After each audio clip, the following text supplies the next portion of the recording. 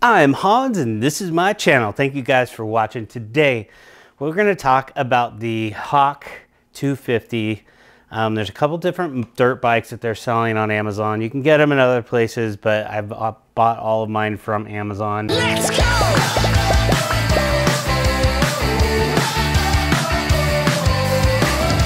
This is the DLX and then there's the basic model. So when you're shopping for these, you can tell the difference because the regular model that's carbureted has a knobby tire on the front and the back, where this one kind of has this on off-road kind of medium tire.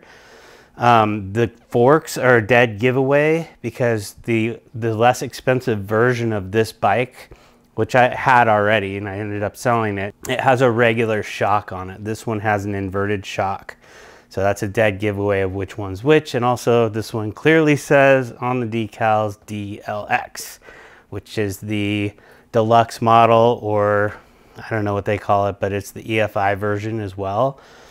Um, the first one that I got, it was the least expensive one that I could find. So I bought the dirt bike with the regular fork and the carburetor and it worked great. So there was nothing wrong with that bike except it was carbureted. Um, tinkering with carburetors is something I've had to do my whole entire life. I'm old, so there's been carburetors on all the bikes that I've had, and they do require a lot of tinkering. They also require maintenance and making sure that things are cleaned out and that the jets are good and that kind of stuff. So it did take me a while to tune it up, get it into a good spot where it's easy to turn on, you have a choke as well, which is a little bit annoying, um, especially where I live where it's really cold sometimes and it's really hot sometimes. So you're not really sure how you should be running it or starting it. Usually you just have to warm it up and then you turn the choke off and it should run fine if you have it tuned right. Um, the DLX, you don't have to worry about any of that. I, I took this thing out of the box and put it together and literally put some gas in it and I started it and it fired right up. So it, it, it, was pretty amazing. All of these bikes have been pretty amazing.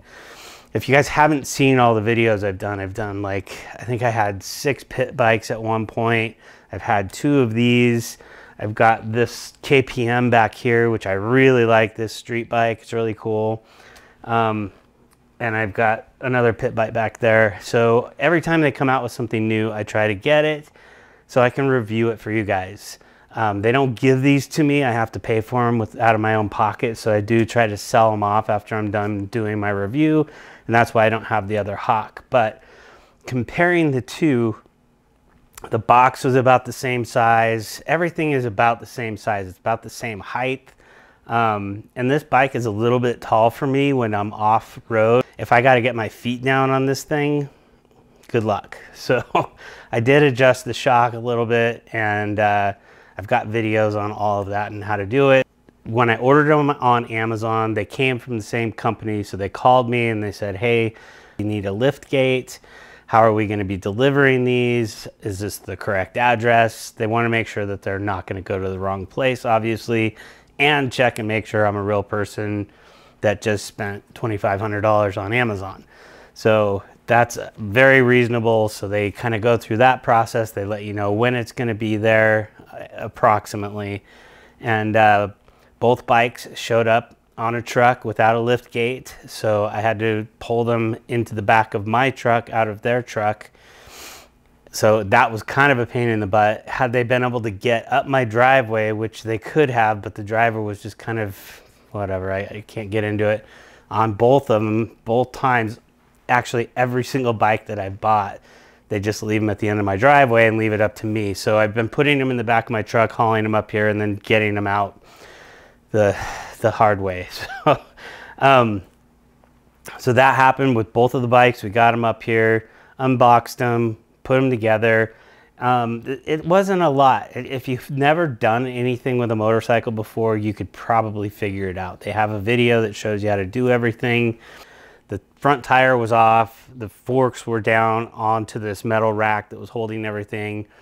Um, the back tire was on, but it, the shock wasn't there, so it was all smashed up into the the fender. So it was really compact. The handlebars weren't on. Obviously, none of that stuff was on.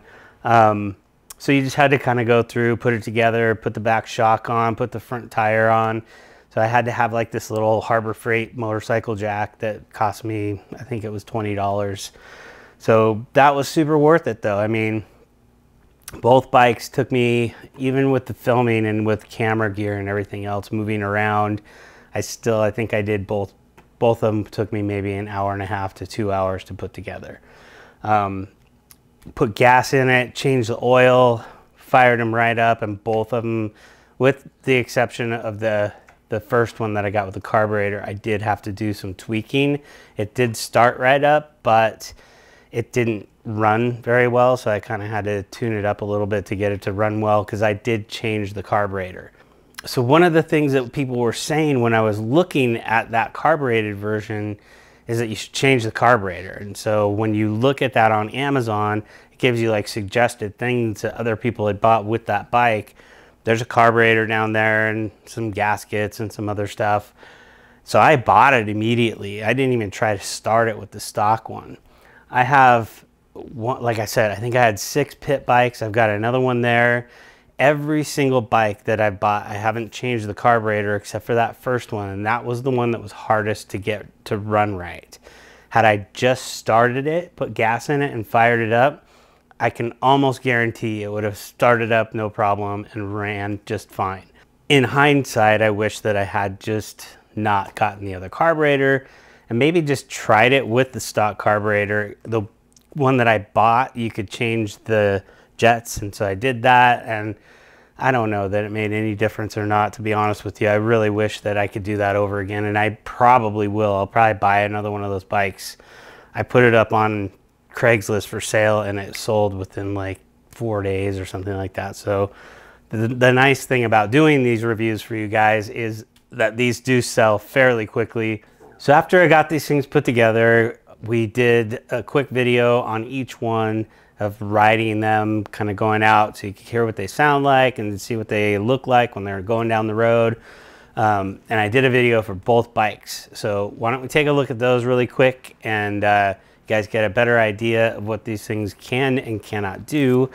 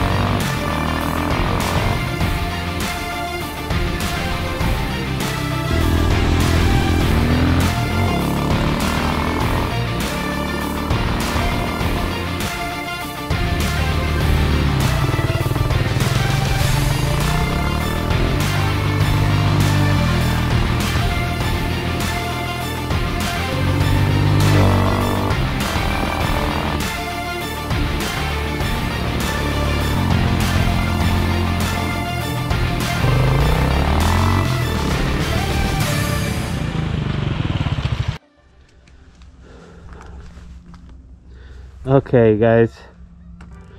I gotta tell you, really super impressed.